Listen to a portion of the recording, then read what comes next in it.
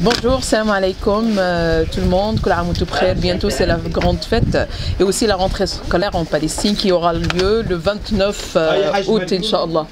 Et voilà, euh, on a monté une cagnotte euh, pour, euh, pour cette occasion, Euh, en fait pour les deux occasions à la fois. Et euh, comme d'habitude, on est avec le frère Smaïl, le grossiste qui, euh, qui nous aide toujours euh, pour, euh, pour euh, les prix de bon marché.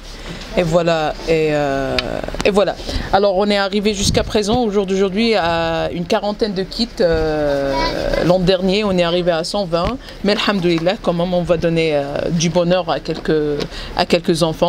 Je tiens à remercier la Belgique, la Suisse et surtout l'association méruvienne, Leïla de la Belgique. Il y a aussi euh, mon frère Sam et, et aussi bien sûr Rabha et toutes, euh, et Nathalie et Samira et l'association méruvienne qui a monté, qui a pris en charge tout le projet et qui a monté la cagnotte. Ben, à très bientôt et voilà, on va commencer. On est en train de faire les, euh, les coupons et bientôt euh, on va les distribuer et euh, Kul aam wa antum bkhair encore une fois.